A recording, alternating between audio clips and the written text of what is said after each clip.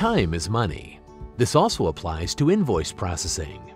Enter, check, and release your invoices via the JobRouter digitization platform and benefit from transparent and faster processes.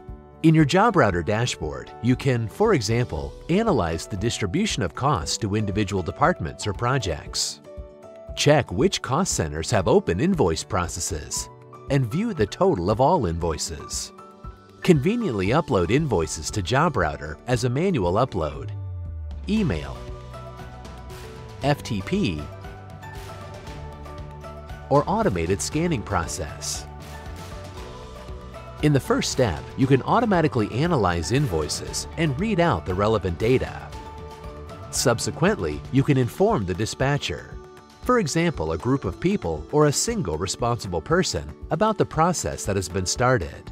He checks the readout data and can add further details, such as payment terms, to the table. With the account assignment table, he has the possibility to distribute costs to different places and to assign different tax rates. The dispatcher decides how to proceed with the factual check. He can skip it, assign it to a specific person, or have the factual check performed on an item-by-item -item basis. The factual checker has to decide whether the data sent to him are correct and gives feedback whether the check is okay or incorrect.